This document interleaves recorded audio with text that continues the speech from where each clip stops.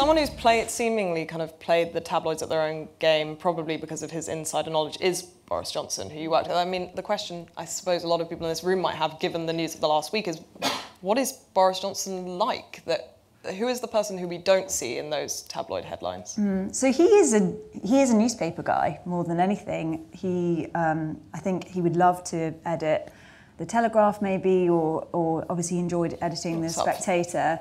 Buy it. And he was very very interested. Maybe he'll buy it. And he was very very interested at our morning meetings every morning of like what the editorial line was in every newspaper, um, because that's really how he thought. He thought in kind of headlines. Um, what is he like? Uh, he's obviously quite. He's very charismatic to be around, and and he can be sort of irresistibly charming, really, um, though not sexy, to be clear. Um, and um, and I could see here, and he could really be engaging. The slight problem was is that he kind of pandered to an audience. So if a meeting was quite big, say, the, round the cabinet table, he couldn't resist sort of performing and not necessarily thinking, how do I chair this meeting and get the best out of it? And, you know, people often say he's more of a campaigner than a, a kind of administrator or governor or technocrat, and I think that makes quite a lot of sense. Um, and I think perhaps my other thought is I've just never met someone as chaotic as him in my life and someone who, who really thrives off it. He likes like living at a pitch that the rest of us would just hate. So I was thinking about him this week, and he's probably happy as a clam. Like, just everyone's talking about him, and is he going to be an MP anymore? Is it all going to come out okay? We don't know. And I look back to stages where, you know, we we'd, uh, I guess the two different ones we'd just prorogued Parliament. He was perhaps going to be the shortest serving Prime Minister in history. He now had a, minor, a full minority government the whole thing was perhaps going to go off the hill. He was getting divorced. Little known to us, he secretly had a baby on the way. what? Maybe little known he was like, well. Matt, you know, God knows what his finances were doing. Like, what, what a kind of way to live. And he couldn't have been happier. Tom, you wrote what's considered kind of the definitive profile of Boris Johnson. Do you have? Do you concur with Cleo's assessment of his psychology? Yeah, I mean, talking the way you were talking about him as a um, as a journalist and almost being prime minister like he was an editor again. So you, having the morning conference in the morning essentially, and having these journalist friends around him. So we had James Slack and James Doyle who were from the Daily Mail, and they'd been very senior journalists, and they knew how morning conference worked. They knew how af- afternoon conference worked, and they just explained him as a as an editor. You know, they re- he reminded them of Dacre or or any of these big figures that they'd had to deal with before their egos, and the chaos. Yeah, I remember having this line in my head that the the chaos with Boris was both performative and real at the same time, and that was the thing to try and get your head around with him. That he he liked the chaos, and he actively made life more chaotic when whenever you saw him and made it funny and people were always laughing around him. So he, he did play that up, but it was also true, and that's like what brought him down. Like his finances were chaotic, his um, doing the Downing Street flat was chaotic. The way he ran uh, ran Downing Street was chaotic. You know, he would say things I was told later, like, "Oh, who who am I seeing again, Tom? What have, what am I, what have I agreed to him to do?" And I was like, "You've agreed to let me in and come and interview you like three times, you know." but he just hadn't a clue. But on the journalism point, just very quickly, he loved talking to journalists and editors, and it was not unusual to kind of send him up in the evening, having done his box work, and he was going to go out for dinner, and everything was under control. He knew exactly what decisions he'd made that day. And then we'd open the papers the next day and think, what the hell? and, he, and, and I can remember we were, in, we were in one of these morning meetings, and it was the front page of the Telegraph, and Lee Cain, who's the director of communication, said, "Where the hell has this come from? We're gonna we're gonna catch this leaker." Don't and, and Boris went, "Oh yeah, that might have been me actually," and he just called up Chris Evans or whoever that evening, and that, you know that was a that was a problem that in the chaos.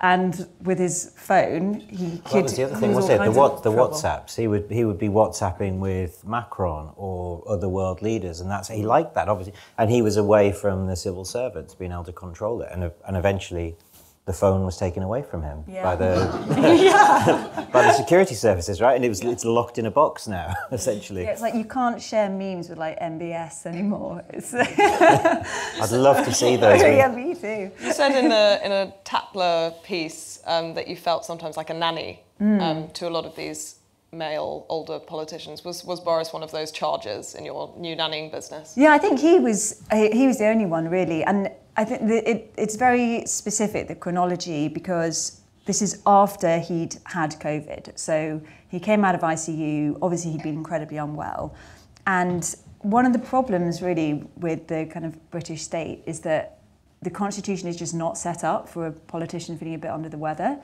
If you're prime minister, you've got to be taking these decisions, and so in order for Chris Whitty and Patrick Vallance and whoever to get the decisions they needed, my job was to kind of have him ready for the meetings at nine and 11 and 1 and whatever. And if that meant making sure he was eating the right foods or getting enough rest or having a little nap or whatever needed to happen, then that's what happened. And, and truthfully, I mean, I think, I think it is, you can see it quite often with um, MPs who become ministers. They just suddenly have this kind of scaffolding around them and they can become quite childlike where they just are used to having people scurrying around and doing stuff for them and you particularly see this once they leave government and they're back on the back benches and they're just flailing around and they, they really don't know what they're doing anymore and sort of sucking their thumbs.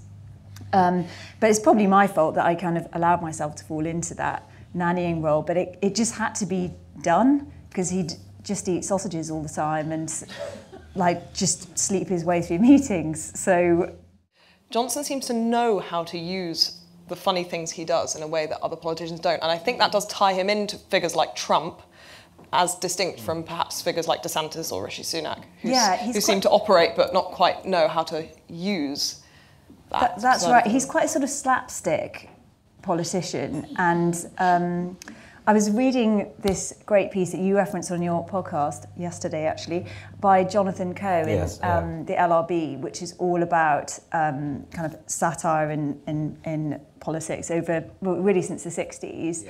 And the idea really being that Johnson, if you look back to his kind of um, Have I Got News for You era, and then as Mayor of London, and all these kind of uh, skits essentially he was prepared to do. I mean, I've never seen anything like it. All the kind of gimmicks that we came up with during the general election, and even as Prime Minister, he was just totally fine with doing, even though the opportunity for humiliation was so obvious and high, and his kind of risk reward But he embraced it. He, want, he wanted to because he also doesn't on- care yeah. if he looks silly, and he kind of he acts like he's in on the joke, and then he's kind of making it happen, and he rolls his eyes, and you know you're starting to see Matt Hancock trying to do that. Where I saw this, I saw this awful. I really got it on the mind, but he did this weird video yesterday of him like ranking his favorite drinks on TikTok. It's like, hey kids, oh I'm having a blue WKD or whatever, and and you just thought. I see what you're trying to do. You're trying to Never kind of work. make yourself a figure of fun, but you still take yourself too seriously. And so I think you're right. He he is able to kind of do this kind of sense of humour. I'm a goon shtick. I think though that the public are less convinced that that's authentic. He was able to seem quite authentic when he did it, and I think particularly with like this week where he is looking pretty Trumpian. Um, I think a lot of that stuff is looking less charming. Yeah, the LRB piece is called Sink, "Sinking, Giggling into the Sea," Yeah. and it's it's really good, and it sort of traces the satire, uh, the satire of politicians all the way back into the '60s, and says, you know, if you if you end up with a with all politicians just all being shits and laughing stock, then the the best way to get around that is just to satire yourself, laugh, laugh at yourself before others do it, and make yourself a kind of lovable rogue, which is what Boris Johnson was able to do. And then he was he was um, he was kind of he'd won because nobody else could take the mick better than he was already doing. Hmm. And if he falls over in a game of rugby, that's funny, but he's he's done it. Mm, We're talking about beyond parody. If you make Yeah. yourself beyond parody, there is a, That's right, there is yeah. a real power in that. I think Trump Trump has also simultaneously managed to do that. I don't know if I, they're often compared. They're kind of these quite hulking blonde men Yeah. um, with this oddly humorous persona. Do you think there is more to it than just that?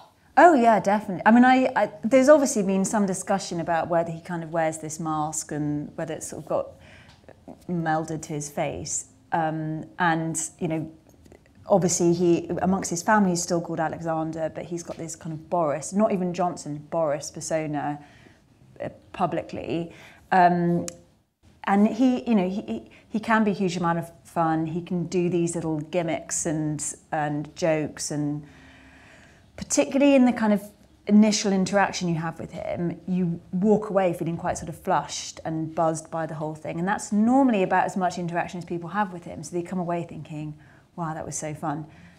But when it's day in, day out, and you're trying to get him to make some quite big decisions, it's so it's so unbelievably annoying, and like the, just the charm melts off it. And then when he gets angry, it just completely evaporates. And It's what they say about drug addicts. It's the pleasure, then the pleasure and the consequences, and then you're just left with the consequences. big Honest. time. Well, Dom, didn't didn't Dom used to sort of get really annoyed with people who carried on laughing at him? So stop fucking laughing at him, you know, and ma- would make it an order. Yeah, well, what ended up happening is people stopped laughing, but he would, he does this kind of like look like that, and so people would just do that back to him. So you'd be sitting in meetings and just thinking, what the hell is going on? There's people like squinting at each other. Do you think a, la- a kind of chronic lack of seriousness was the start of what we now can trace back to during COVID? That kind of beginning of the loss of trust that, that seemed to happen and, and the piling up of more and more lies upon lies? Or is that something that has always existed in Westminster?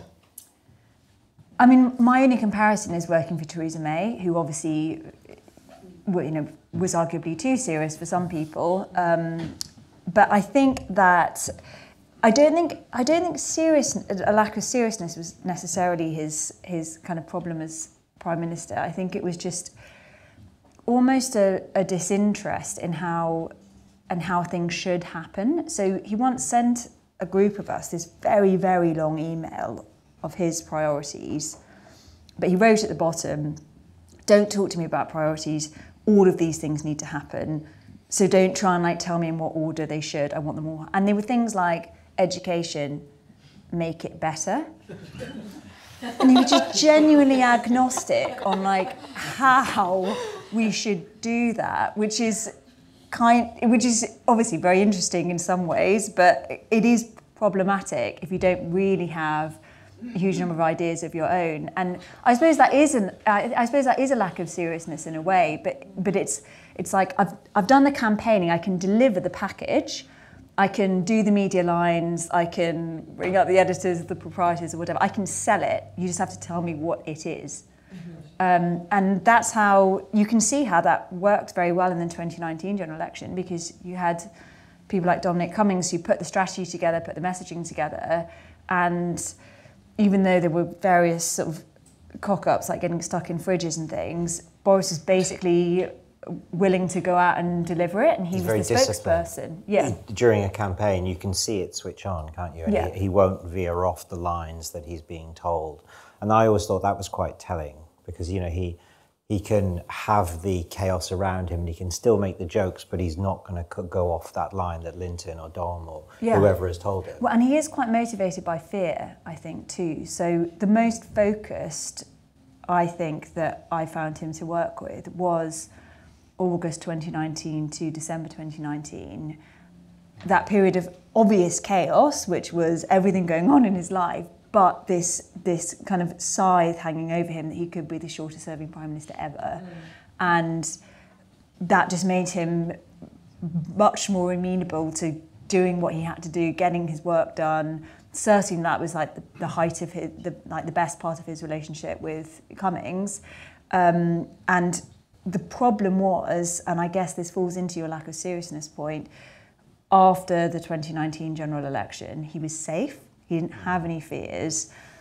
And that's when he ultimately relaxed, and it was just very difficult to get him motivated into. This is the classic character of the cad who always has to have some fear of being found out weighing over them to mm. motivate them to do anything. It's, Totally, it's like it's, well, a, it's, it's a journalist. literary it's, a, it's a deadline. Yeah. It's a it's a newspaper deadline, and he didn't have it anymore. And I can remember, you know, the earliest fights were things like HS2 and Huawei, and he was like boosterism, boosterism, leveling up. Let's just say yes to everything. And the, like Huawei, there were pretty major questions about whether that should go ahead or not. And obviously HS2 we're still talking about as well. And that was really, I think, partly in, in his relationship with as well. You could just see the wheels starting to come off because he just sort of didn't have any worries anymore. Well, of course, Boris has written a novel himself that I've Of just course, remembered. yeah. And it features a caddish Tory MP who cycles to work and has this dark secret hanging over him for the entire novel that you then discover at the end. And it's all A sex- ninth child. it's all sexual innuendo and all of that, and it's uh, and it's there, and it's actually while he's um, he's having an affair at the time.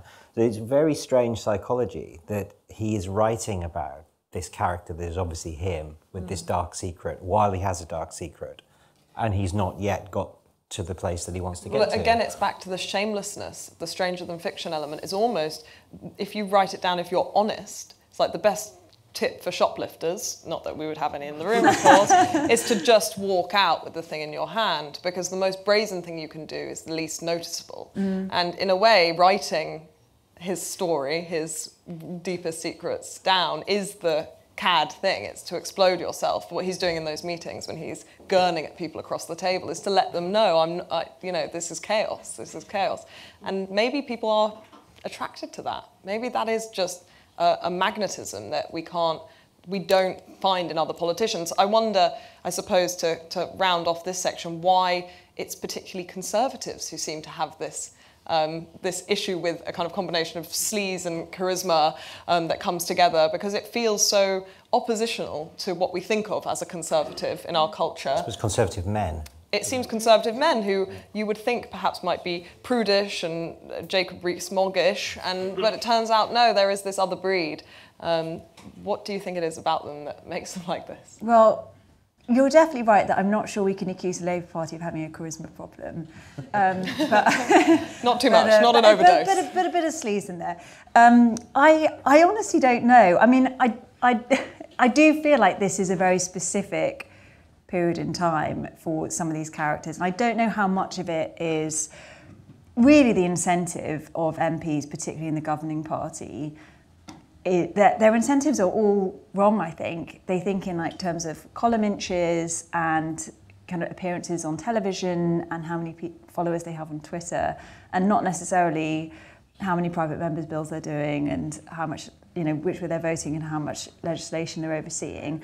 And of course, there's this terrible rat run to try and get on the career ladder and become a minister, which is, you know, a big. There's rumours of reshuffle now, and I think that's probably feeding into some of the fever at the moment.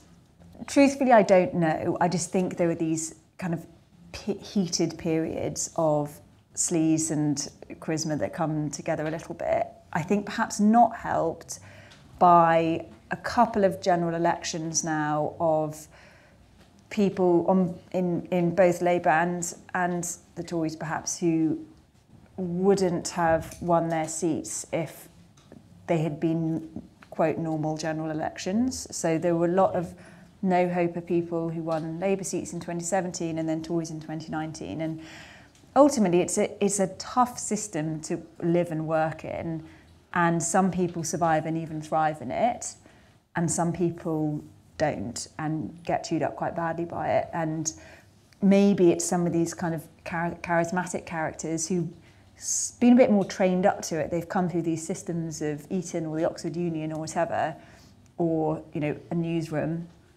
and they understand a bit more about what to expect.